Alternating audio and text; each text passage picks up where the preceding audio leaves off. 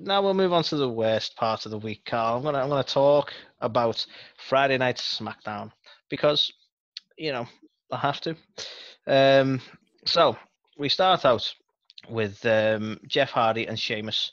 Do you know why, Carl? Because they need to do a contract signing. Because yeah, that match needs a contract signing. Not you know a title match or anything. That I, it's you know it's a match we've already had as well. But no, this one needs a contract signing. So Obviously. fuck it, why not? Um, this contract signing actually involves a, uh, a, a urine test for some reason, and um, naturally, when uh, someone's going to piss into a jar, that jar is going to get thrown. So um, it also ends with um, with Sheamus getting covered in uh, well, what I hope was fake piss. Um, now, the one thing I did like from this segment was the fact that because they're leading into this whole you know DUI angle and stuff like that, which is fine. That's what they want to do, and uh, you know uh, you, we need to do the urine test because you're probably on drugs, Jeff. Um, fine, yeah. Uh, what I did like is the fact that you know in the inevitable sort of back and forth between the two of them, Jeff got the upper hand, or certainly looked like he was getting the upper hand. Um, and so far for me, Sheamus has just embarrassed him. Like in the match they had, in every time he's attacked him or they've had a back and forth, Sheamus has been massively dominant. So it was nice to see Jeff getting a little bit of offense in. In all honesty, um, so yeah, I was yeah, it it worked on a level for me. Uh, what did you make of the promo, Carl? I mean, the the promo itself was a bit bland. I did get a bit of a laugh after um, him dousing Sheamus in his own piss and the reaction from Sheamus off the back of it. But yeah, I don't know. It's a it's a weird one in terms of the angle because it's it's obviously drawing quite close to home with everything that Jeff has faced, and obviously he's he's happy to sign off on it and to, to play the angle out. But partly it's in poor taste, isn't it? Like you, you- you've got to kind of admit that. But Yeah, I don't know. It was. Uh, I think to your point, why on earth would you have a contract signing for a non-title match that you've already seen like several times already that didn't need one? Um, just because so they it feels like a bit of a cop out, but I hate Yeah, I, I hate the whole concept of a contract signing just because it's not consistent. Whenever they want them to face off and a table get flipped, then they do a contract signing. It, yeah, it has it's like it's like no proper bearing. lazy booking, isn't it? It's like why, Yeah. Every time you want to face off does it have to be a contract signing? Just, I yeah, even slightly, I don't know if I commended them per se, but I was even happy last week when they just didn't bother with that bullshit and they just had Bryan and Styles just having a face to face. They even called it a face to face because what's the point in having a fictitious fucking contract? yeah, exactly. Stupid. Like Really people, like we- we've already established, anyone can make a match anywhere. There's no time for contracts. So Well, plus from a, a standpoint, like they are contractors at WWE, so they have the matches that they are booked for. As far as I'm aware, they don't have to sign a contract sign a every contract match. every They're not. time. Exactly. It's not boxing. They Yeah. are. They're working for that company. They do what they they have the matches that they're booked. But anyway, I digress. I'm didn't trying to take. I'm trying to take a fictitious thing seriously, so it doesn't help.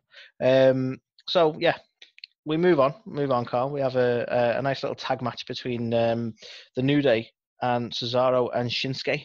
Uh, and surprisingly, Cesaro and Shinsuke took the win. So overall, all right match. Yeah, why not?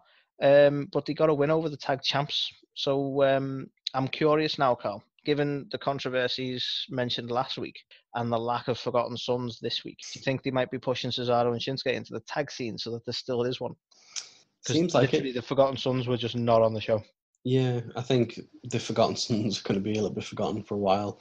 Obviously, with the the whole Sami Sami Zayn thing, um, you know, they've been kind of booking Cesaro and Shinsuke with you know Corbin for the last couple of weeks, which hasn't really made any sense. So, yeah, and they, you know, for me, like these two, that attack as well on Shorty G for some reason. yeah, like for me, like Shame, uh, Sheamus, uh, Cesaro, and Shinsuke are two guys who are phenomenally talented, um, and they're just kind of lingering in nothing. So, you know, whether it's tag titles or nothing, I, I want to see them get used. And for me, this match was quite enjoyable. It's still a shame that Cesaro wasn't the one to pick up the win because I feel like he, for as talented a guy as he is, he really needs to start kind of cementing himself that way. But you know, Yeah. I'm I'm I'm down to see them two kind of do something as long as maybe there's a bit of a payoff at the end of it. I don't want it to just be like filler material. Yeah, and going into that classic problem though is that they don't look like a tag team. They need to sort Yeah. that out a little bit. We, We're Yeah. always a fan of a tag team that's a tag team. They've got a name, they dress alike, that sort of thing. Um, and we've mentioned it a few times, and that's the only bugbear I've got. Like, I, I think they work all right as a tag team, to be fair. Like in terms of chemistry Yeah. between each other. But it's even uh, like the uh, the separate entrances and stuff. Just you straight away you don't you know what I mean. Like he they, they've they've done work on Cesaro's entrance now where he like comes from the Matrix almost. Whereas Shinsuke's he used to have a fantastic entrance back in the day. Then they've like ruined him with his weird new theme and his heel gimmick and stuff. And it's a bit like, yeah, just get on the same page. Have have some sort of combination between that and come out with like these cool Matrix guys with awesome theme music. Yeah, but um, yeah, I hope that they, they might lean if they're going to push them towards tag glory, they might lean into that sort of thing. But um, it remains to be seen. But an interesting result anyway. And then we move into probably the best match of the night, Carl. The best match of the night. We have um, the final of the Intercontinental Championship tournament. We have AJ Styles versus Daniel Bryan, and the pair put on an absolute clinic. To be fair, fantastic match, a nice long match as well. It was great to see the pair of them together. They've got great chemistry in the ring. Um, I've nothing bad to say about this match at all. Um, result wise, we saw AJ Styles take the win, uh, which for me was the the right result. Um, I was a bit concerned the concept Bryan was pitching when he's like, I'm going to be a fighting champion, defend the title every. He's like, we're already seeing Apollo come out and be a fighting champion with the US title, and we're already seeing Cody come out every week with the TNT title. It just feels a bit more of the same. Like he's just looking at all the shows and going, let's do that. Um, and it, I'm I'm not an against it, but it almost would have felt a little bit dull for me if Bryan had won the title and we'd have had that sort of open challenge every week with this as well. Um, and I prefer the the sort of heel arc with Styles taking the belt and is now like you will get a shot if you deserve a shot and, and almost being a bit smug about it. Um, so I, am interested to see where Styles goes with this, and I believe this is the first time he's ever won it as well. So that's um, it's nice to see him get the win on that result. Yeah, definitely. I I loved this match. This is this is the kind of match that's right up my alley. For me, this is candidate for best match of the year. Oh yeah. yeah. Um, I I thoroughly enjoy it. Like normally for I, you know I'm not going to lie I I will skip through several matches like sometimes a lot of the matches if I don't really care about them and I'll watch more for like the storylines and to see how you know the plot progresses and so on and so forth. It's very rare that I go do you know what I'm going to watch a, a, wrestling contest from from bell to bell and just mm. sit back and watch the whole thing. And this was one that you know you absolutely could not fast forward this match. This was a this was a clinic. It was it was so so good, and it was um it went super long, and it didn't feel like it wrote it overran, which for me is a testament to a fantastic match. Is when you do you don't you don't realize you've just you know spent 30 40 minutes on paper you look at this card and you go fuck there wasn't much happening on smackdown but that's because this match was a long but you don't like you say you didn't feel it I watched SmackDown. It didn't feel like I was watching this thing for fucking ages, but it was just quite a small card because they gave some time to this match, and sometimes you need that when when you're putting on something like that. Yeah, go for it, and it was definitely well deserved. Um, right, so sadly, it kind of uh, goes downhill from here. I'll be honest with you, Cal. so we have uh, a tag champ celebration, um, which, to be honest, is a little bit more of the same of what happened on Raw. Um, so the tag champs come out to have they, they got balloons this time. They're celebrating their victory and the fact that they're the tag champs. Um, again, Bayley trying to be a heel and just sounding fucking cartoonish and silly with the ding dong stuff. I was like, what is that? Like, I don't know, it just feels a bit silly. Um, so then we obviously get Bliss and Cross coming out to interrupt. Um, it's quite funny. Actually, I quite like the the back and forth, the the, the character, should I say, because um, Bayley was about to read a poem to Sasha, and then uh, Alexa felt the need to interrupt because of the poem, which I thought tickled me. You know, um, so then they're having a bit of a back and forth, and we get the IIconics appearing on the screen. Um, so they start giving uh, Sasha Banks down the banks, as it were, um, and then basically it results in Bliss and Cross attacking uh, Sasha and, and Bayley, and then all out brawl, and obviously just setting up for the triple threat for Backlash. Um, again, it wasn't bad. It just was like, we we already know we're having a triple set. We've already had this sort of whole thing set up. Do we really need this segment again? Um, sort of again. You know what I mean? But uh, what do you make of it, Carl? Did you get any enjoyment out of it other than seeing Alexa Bliss again? I mean, how could you not get enjoyment out of that? Do you know what I mean? um, yeah, I don't know. It's, it's one of them. It was just it felt a little bit like filler material because it's not really. It doesn't really progress anything when you've you've got a, a match that is going to culminate in, and it's kind of like this is just to amp that up, but nothing significant is going to happen. I feel like mm. we see this far too much. It's like, well, we've got this match in a few days' time. Let's make it relevant by doing a variation of the match. It's like, well, what's the point? Do something else. Do something a bit more compelling to make us care about the match. matches actually. Thing, like, what happened to like having I don't know Nikki Cross in a match against Sasha Banks? Exactly. You know, just a singles match to hype up the inevitable tag match and you know you then like usually you would get like Cross gets the win. So then you go, ooh, the tag champ's safe. I don't know. Um, but you don't know. We're just going to do constant fucking promos and brawls. It's the same with um, with uh, with a lot of other stuff. It's all like let's just keep promoting it to death until we get to the pay per view because we don't really know what else to do to hype it up. It's a shame. It happens a lot. Yeah, just lazy. Mm. Laziness. Thanks, Prichard. Uh, so um, so then we we closed the night out, Carl, on um, a big old six man tag match. Now uh, we have Braun Strowman and Heavy Machinery. That's right. Tucker's back. We've got old Tuck back. Yeah. Versus uh, Miz Morrison and Ziggler because I don't know. Ziggler didn't like Otis at one point. You know, I, am not even sure that's You know a thing. I don't know. For me, it just makes perfect sense to have Ziggler part of Miz and Morrison. They are just the same people. like Yeah. it, it is. It, it's a fantastic stable if you just make it happen. Like it's so good. Yeah, I mean the the reason he was there is very loose, but they do bounce off each other well. They suit each other. Like they all entered together, and as much as like they all entered to their own theme music, it was done in that typical style that that Miz and Morrison do, where Miz comes out and then his his, his music cuts, and then Morrison comes out, and they all walk down together. And they've done the same with Ziggler. So Ziggler sort of joined them, and it, it, did gel really well in terms of the way they they, they were they were cohesive as a as a team as a trio. Sadly, not cohesive enough to take the win. Um, so we see typically Strowman being the dominant Strowman that he is. We see Otis at one point call for everyone's outside of the ring at this point, bar Otis, and then Otis signals. I didn't realize we had a signal for it, but he signals for um, the the Strowman Express. So, um, and for those who don't know, that's when uh, Braun Strowman pretends to be a train and circles around the ring like a big train, because you know that's our Universal Champ. Choo guys. Choo I um I'll stress that earlier in the night we had um Tucker encouraging Otis to cash in and was sort of suggesting like this is the night, this is the night to cash in. Uh, we didn't see such a cash in. Uh, what we did see, weirdly, was um you know during the match we we cut to um the screen comes up with with Baron Corbin.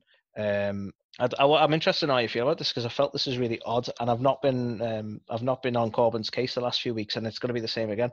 I don't. Uh, right, so Corbin, for some reason, asked the cameraman to follow him. Don't know why. Um, to go and speak to Mandy, who didn't come out to the ring like she normally does with Otis. And he goes over to Mandy and he's basically addressing the fact that like, oh, you told him to steal the crown. And she was like, oh, it was just a joke. And then he's sort of in a creepy Corbiny way trying to flirt with her, saying like, oh, you you know you you you made him wear the crown because you want him to be like me and so on like that. Uh, and then a- almost unnecessarily, Otis loses his shit to the point that he like he leaves the match, runs backstage to beat the shit out of Corbin just for talking to and slightly flirting with Mandy.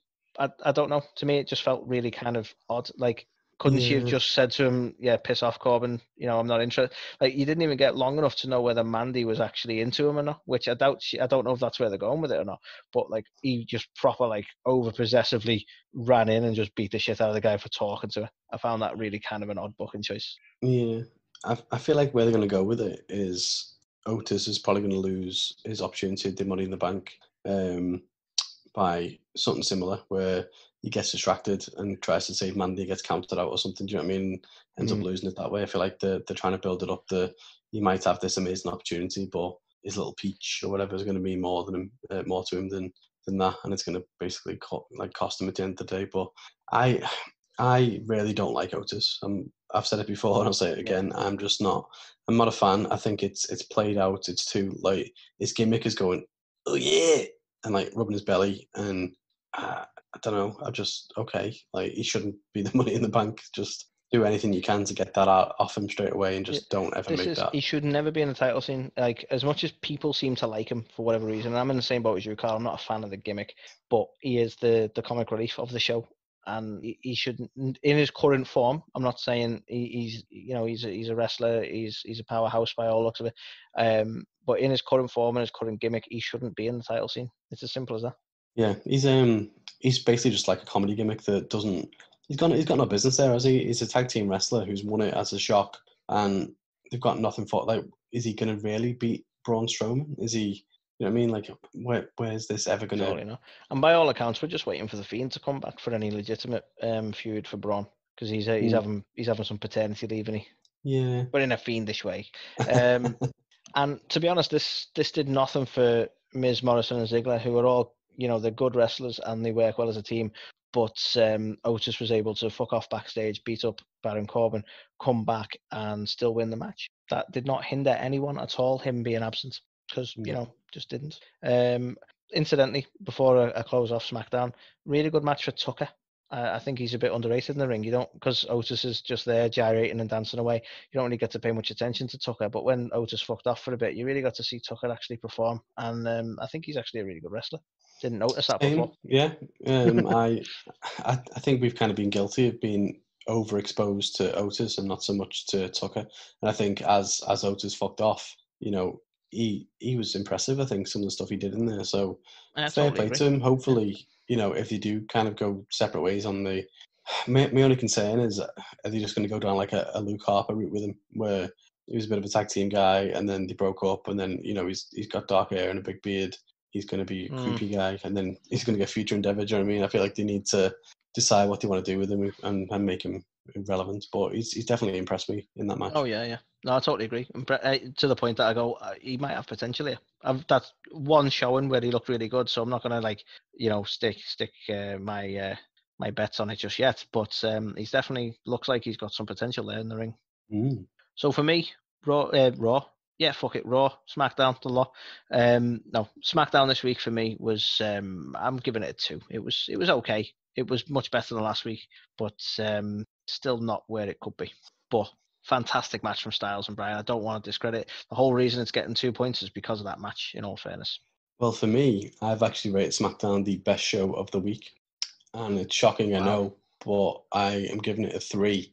And pretty much all three points for that match. That was the finest match I've seen in a long time. And for someone who is more character and storyline driven than they are kind of ring driven, um, especially in today's kind of product, that was enough to make it the standout show of the week. It was just, it was just a Wow. fantastic contest. Do you know So controversial, but Eh, not necessarily controversial, mate. I think um, we, we're allowed to differ on opinion, but I think it's important for anyone listening to to understand just how how much you rated that match alone that it was able to do that, because it's certainly a match that people should see. So um, I think it's a fair testament to that.